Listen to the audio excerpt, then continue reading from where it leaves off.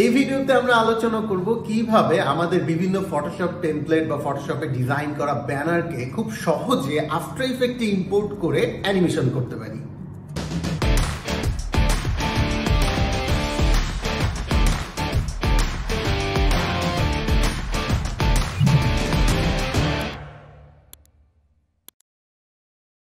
আসসালামু আলাইকুম, আমি ইমরান হোসেন সজীব। কাজ করছি motion and graphic design mentor হিসেবে শিখবে সবাইতে সো চলুন শুরু করা যাক। সো এই ভিডিওতে আমরা এই ব্যানারটা অ্যানিমেশন করা দেখব। সো আমি অলরেডি এটাকে ফটোশপে ডিজাইন করেছি। সো আপনারা যারা এই ভিডিওটি ফলো করতে চান, আপনারা আপনাদের যে কোনো একটা ফটোশপে করা ডিজাইন দিয়ে ফলো করতে পারেন। সো এই ডিজাইনের ভিতরটা চলেন, আমরা একটু দেখে আসি। আমরা ফটোশপ ফাইলটা ওপেন করি। এবং এখানে দেখা যাচ্ছে যে সবগুলো লেয়ার আমি আলাদা আলাদা রেখেছি অ্যানিমেশন করার জন্য। ঠিক আপনাকে ফলো করার জন্য আপনার ফটোশপ ফাইলটাও ঠিক এইরকমভাবে পারফেক্টলি অর্গানাইজ লেয়ার থাকতে হবে।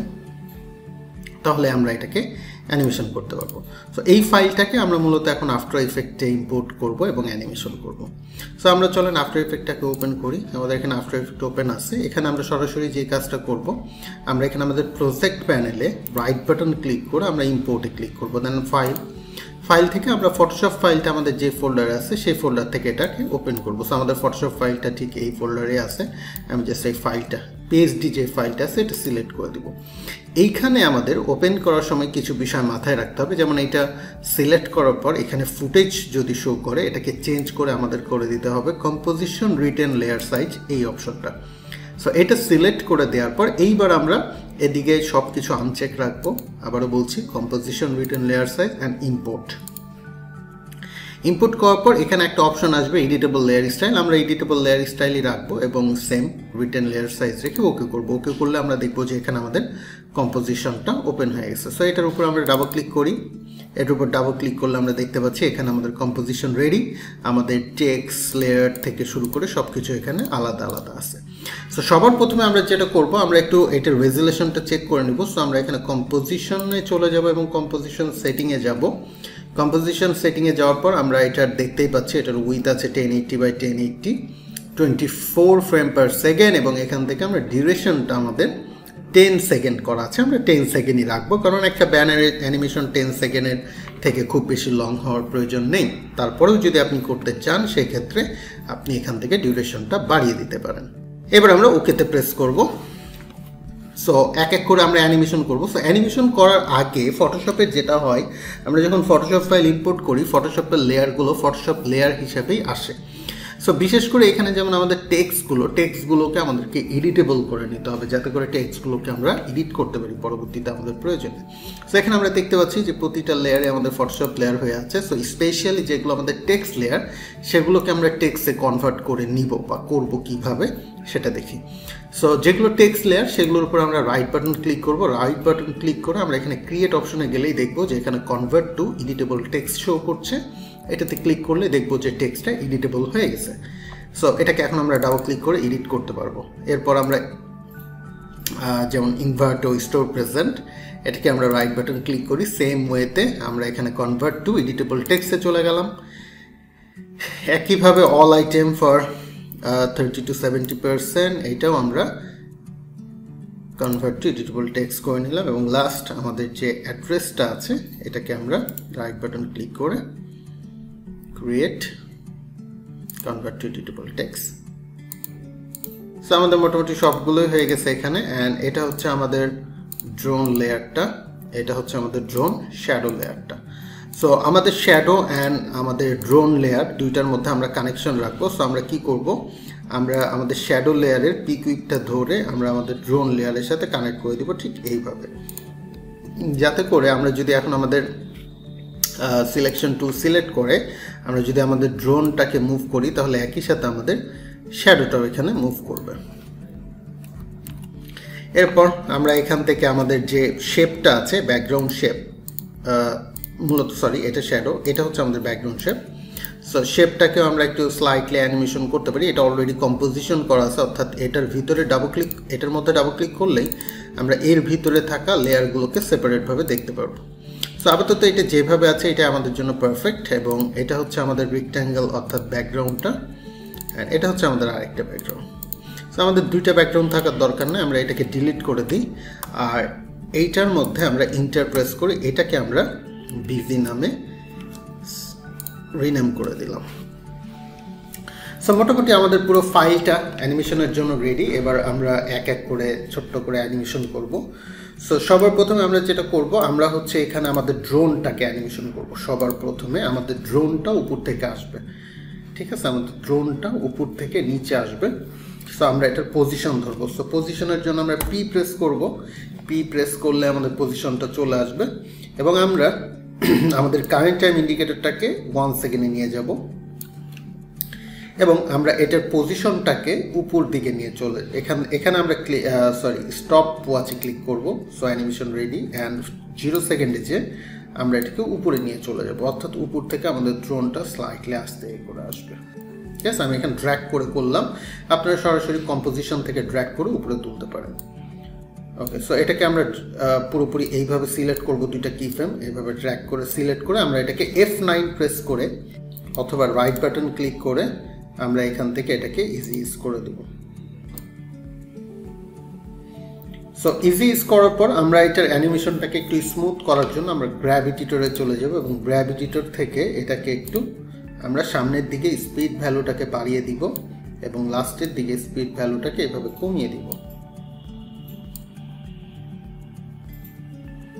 ওকে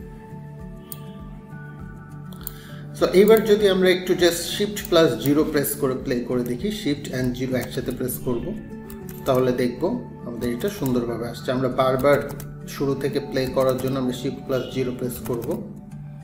আচ্ছা এবার আমরা যেটা করব ড্রোনটা এখানে উপর থেকে আসার পর ড্রোনটা এখানে উপর থেকে আসার পর এটা র্যান্ডম হালকা উপরে, হালকা নিচে এইভাবে মুভ করবে। সো আমরা এটার পজিশনটাকে আমরা ওয়ান সেকেন্ডে যাব। এটাকে একটু উপরে তুলবো এইভাবে। হালকা। আমরা থ্রি সেকেন্ডে যাব, আবার একটু ডাউনে নিব। ড্র্যাক করে। এখানে আমি মাউস নিয়ে ট্র্যাক করছি। চার সেকেন্ডে যাব। একইভাবে আমরা এটাকে আবার ড্র্যাক করব। পাঁচ সেকেন্ডে যাব। একইভাবে আমরা এটাকে ড্র্যাক করব। সো এইভাবে আমরা এটাকে পুরোটাকে কমপ্লিট করব। আমরা চাইলে ফ্রেমগুলোকে কপি করে কপি পেস্ট করতে পারি। আমরা আমাদের ফ্রেমগুলোকে সরাসরি কন্ট্রোল সি দিয়ে কপি অ্যান্ড কন্ট্রোল ভি দিয়ে সেম জায়গাতে পেস্ট করতে পারি। এই ফ্রেমটাকে কপি করে আসেন, আমরা এখানে পেস্ট করি কন্ট্রোল সি কন্ট্রোল ভি হ্যাঁ এইটাকে আমরা আবার এই ফ্রেমটাকে কন্ট্রোল সি কন্ট্রোল ভি করি। অ্যান্ড দেন এটা ফাইনালি আবার উপর দিকে এটা চলে যাবে সো আমরা একদম ফার্স্টের ফ্রেমটাকে কন্ট্রোল সি কন্ট্রোল ভি করি। সো লাস্ট ফ্রেমে আমাদের এইটা আবার এইভাবে উঠে চলে যাবে। আমরা যদি পুরো অ্যানিমেশনটাকে একটু প্লে করে দেখি shift plus zero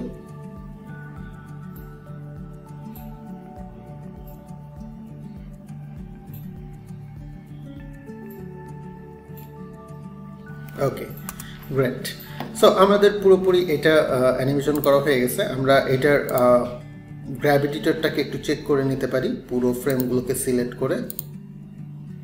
সো আমরা দেখতে পাচ্ছি যে এখানে আমাদের মোটামুটি এই জায়গাগুলোতে অ্যানিমেশনটা এইভাবে খুব ফাস্ট হয়ে গেছে। সো আমরা এই সবগুলোকে এখান থেকে, এই সবগুলো ফ্রেমকে এভাবে সিলেক্ট করে এই পর্যন্ত সিলেক্ট করলাম। সিলেক্ট করে আমরা এটাকে ইজি ইজ করে দিতে পারি, অর্থাৎ স্মুথ করে দিব। আমি এইটাতে ক্লিক করলাম, শুধুমাত্র প্রথম একটা বাদে। ঠিক আছে? অ্যান্ড লাস্টে আমাদের যেটা হবে লাস্টে এটা স্লোলি যে খুব ফাস্ট এটা আউট হয়ে যাবে। আমি জাস্ট এই বাটনটা ক্লিক করব অ্যান্ড এটাকে হালকা টেনে দিব। এটাকে হালকা এদিকে টেনে দিব বাস অ্যান্ড আবার আমরা নর্মাল মোডে ব্যাক গেলাম। তো এখন যদি আমরা আরেকবার প্লে করে দেখি, তাহলে দেখব যে স্মুথলি আমার এই ড্রোনটা উঠছে এবং নামছে।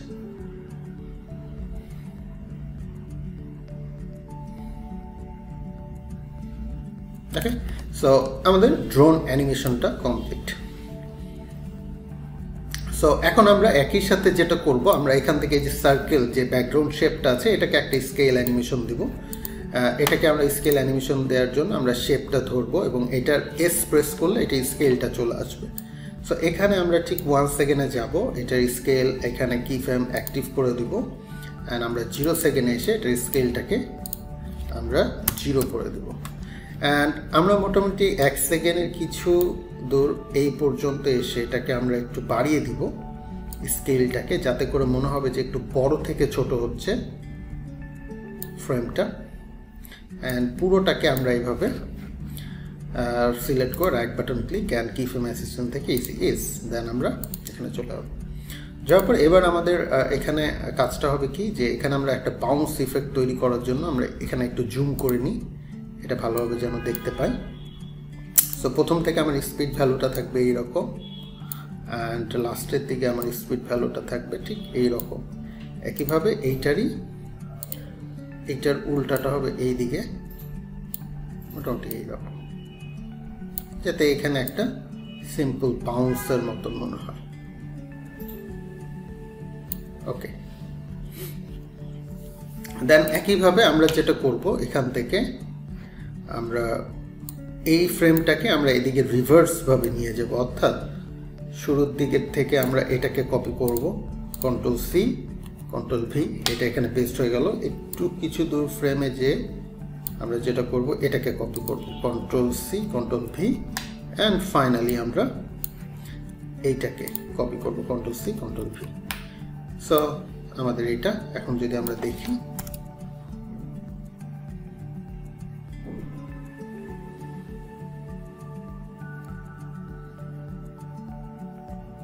ওকে সো আমাদের অ্যানিমেশন সুন্দর হয়ে গেছে মোটামুটি।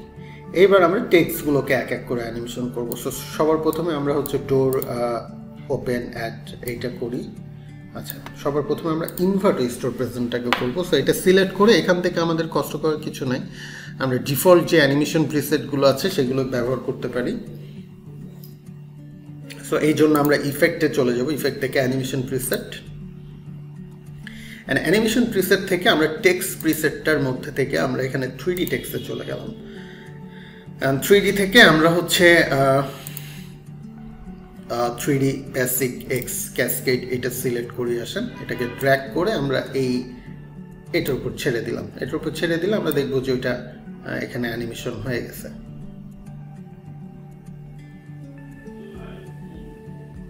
এবং আমরা দেখতে পাচ্ছি যে আমাদের টাইমটাও যথেষ্ট পারফেক্টভাবেই ওকে অ্যান্ড এটার মধ্যে যদি এখন আমরা ইউ প্রেস করি, এই যে, এটা সিলেক্ট করে যদি ইউ প্রেস করি, তাহলে এটার এই যে শুরু অ্যান্ড শেষের কি ফ্রেমটা কিন্তু আমরা পাচ্ছি। সো এটা আমরা কি করব? আমরা এই কি ফ্রেমটাকে এখানে পেস্ট করব।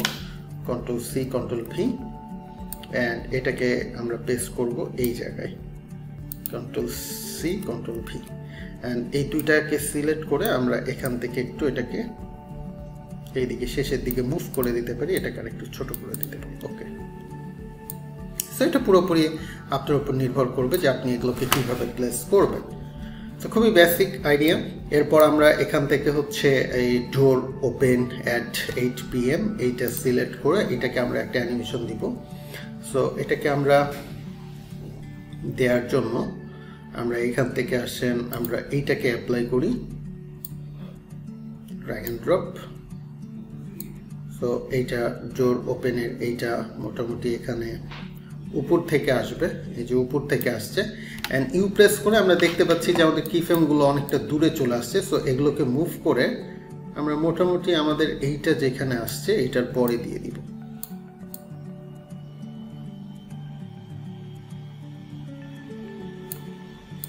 ঠিক আছে, তাহলে অ্যানিমেশনটা এইরকম হবে। অ্যান্ড একইভাবে এটাকে আমরা অন্যদিকে উল্টা করব সো এটাকে প্রথম ফ্রেমটাকে কন্ট্রোল সি কন্ট্রোল ভি দ্বিতীয় ফ্রেমটাকে আমরা এখানে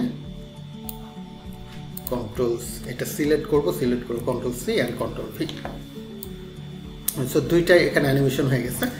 অ্যান্ড ফাইনালি লাস্ট আমরা হচ্ছে এই দুইটা টেক্সটকে এখানে অ্যানিমেশন করব। সো অল আইটেম ফ্রম এটা সিলেক্ট করে এটার মধ্যে একটা অ্যানিমেশন দিব। এখান থেকে আমরা অন্য অ্যানিমেশনগুলো ট্রাই করতে পারি, যেমন এখানে ব্লার আছে। ব্লার বাই ওয়ার্ড এইটা আমরা করতে পারি। সো এটাকে আমরা ড্র্যাক করে এটার উপরে অ্যাপ্লাই করব। সো এটা একদম শুরু থেকে আমরা করতে চাই। সো আমাদের টাইম লাইন ইন্ডিকেটরটাকে ফার্স্টের দিকে নিয়ে এসে এবার আমরা এটাকে এইভাবে প্লেস করে দেব। তাহলে দেখব যে ব্লার বাই ওয়ার্ড এখানে প্লেস হয়ে গেছে, এই যে এক এক করে আসছে। সো আমরা এটাতে ইউ প্রেস করি। ইউ প্রেস করলে আমরা কি ফ্রেমগুলো দেখতে পারব। এটাকে এখানে আমরা লুপ করে দিব হচ্ছে লাস্টের দিকে যে এটাকে কপি পেস্ট করব। এটাকে control C control V and এইটাকে আমরা প্রথম ফ্রেমটাকে কন্ট্রোল সি কন্ট্রোল ভি করে দেব।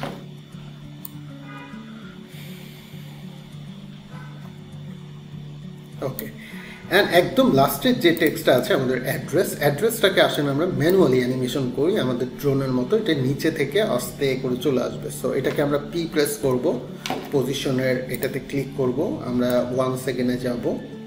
ওয়ান সেকেন্ডে যাওয়ার পর এটাকে আমরা এখানে একটা কি ফ্রেম ক্রিয়েট করলাম, আমরা জিরো সেকেন্ডে এসে এটাকে নিচের দিকে নামিয়ে দিব ফ্রেমটাকে কম্পোজিশনের বাইরে অ্যান্ড দুইটাকে সিলেক্ট করে এটাকে আমরা ইজি ইজ করে দিব। অ্যান্ড এই ফ্রেমটাকে আমরা আনব একদম লাস্টে এইরকম পজিশনে এটা কিছুক্ষণ পরে আসবে আর কি।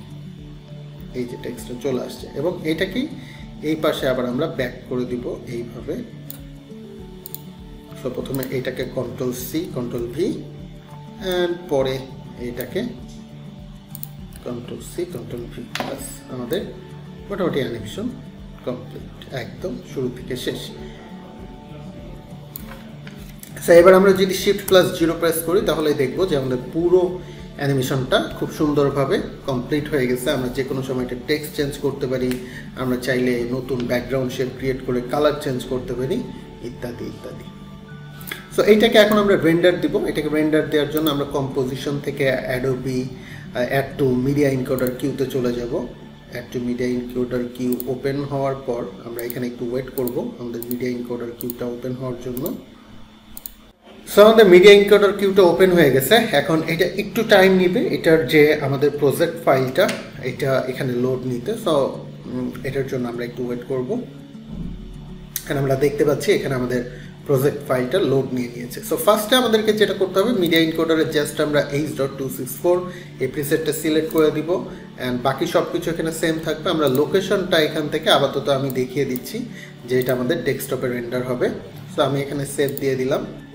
সেভ দেওয়ার সাথে সাথে আমরা যদি এই যে এখানে প্রেস করে রেন্ডার দিই এখন স্টার্ট কিউ অ্যান্ড এটা রেন্ডার প্রসেস স্টার্ট হয়ে যাবে এবং আশা করি খুব দ্রুত রেন্ডার কমপ্লিট হয়ে যাবে।